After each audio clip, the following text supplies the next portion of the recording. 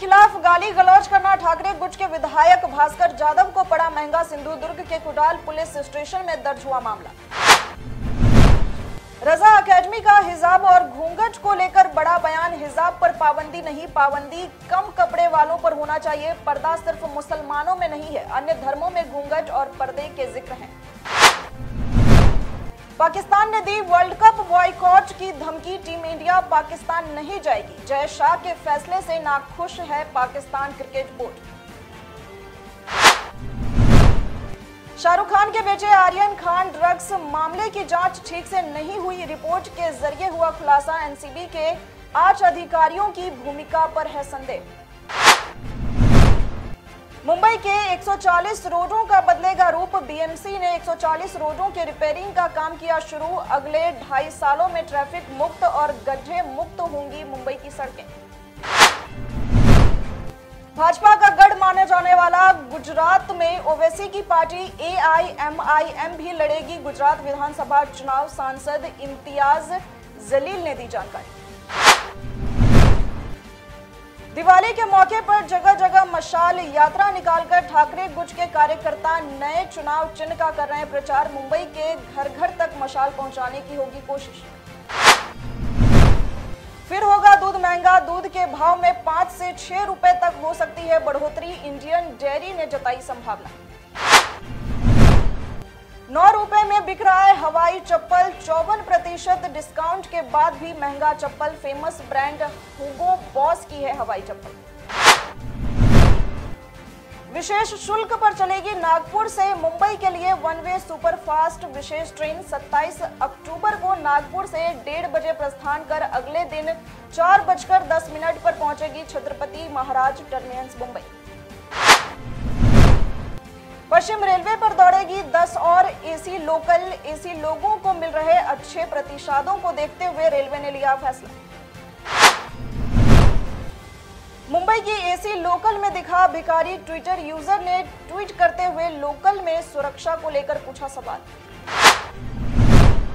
महिलाओं और बच्चों के खिलाफ मुंबई में बढ़ रहे अपराध रिपोर्ट के मुताबिक वर्ष 2012 से 2021 इन 10 वर्षों में मुंबई में अपहरण और इससे संबंधित अपराधों में 650 प्रतिशत, बलात्कार में 235 प्रतिशत और 172 प्रतिशत छेड़छाड़ की हुई वृद्धि। सोलापुर ज़िले में पिछले आठ दिनों से हो रही है भारी बारिश। बागों का हुआ नुकसान। 150 हेक्टेयर क्षेत्र को बारिश ने किया प्रभावित। लोकसभा चुनाव के मद्देनजर महाराष्ट्र में प्रदेश अध्यक्ष चंद्रशेखर बावनकुले ने बनाई योजना मिशन 45 को हासिल करने के लिए 20 संपर्क दूत स्थापित करेगी बीजेपी। सावर गाँव में ग्रामीणों को कमर गहरे पानी से पार करनी पड़ रही है नदी। नदी पार करते हुए एक मजदूर की गई जान।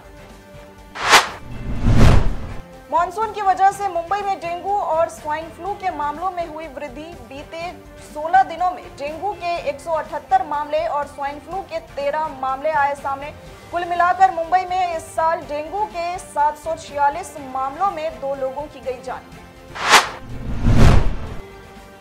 सिराजगांव कस्बा में बाढ़ में बह गई, कपड़े धोने गई महिला। आम नागरिकों ने बचाई महिला की जान। घटना कैमरे में हुई कैद, वीडियो हो रहा है वायरल। एसटी कर्मचारियों के लिए खुशखबरी। दिवाली के अवसर पर राज्य सरकार की ओर से निगम को मिलेगा 45 करोड़ का तोहफा। एसटी कर्मचारियों को मिलेंगे कम से कम पच्चीस सौ रुपए का बोनस। उद्धव ठाकरे के परिवार के संपत्ति के खिलाफ एचसी में याचिका हुई दायर। दादर के रहने वाले भीड़े परिवार ने दायर की याचिका। सीबीआई और ईडी से याचिका में की गई जाँच की मांग। आज हो सकती है सुनवाई। 1300 स्कूलों पर वाले स्कूलों को बंद करने का सरकार कर सकती है फैसला। रत्नागिरी ज़िले के 1300 स्कूल होंगे प्रभावित। पानी की समस्या को लेकर प्रवीण बोरकर ने लगाया बड़ा आरोप, कहा, मुंबई में 20 लाख लोगों को अभी भी पीने के लिए पर्याप्त पानी नहीं मिल पा रहा है।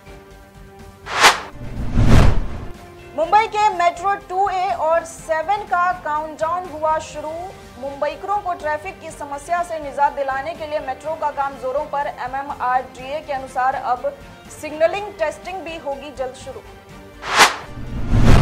महाराष्ट्र में बीजेपी और एनसीपी के बीच फिर एक बार बढ़ रही है नजदीकियाँ। एनसीपी अध्यक्ष शरद पवार, मुख्यमंत्री एकनाथ शिंदे और डिप्टी सीएम देवेंद्र फडणवीस से आज कर सकते हैं मुलाकात। मुंबई क्रिकेट एसोसिएशन चुनावों को लेकर तीनों नेताओं में हो सकती है बातचीत।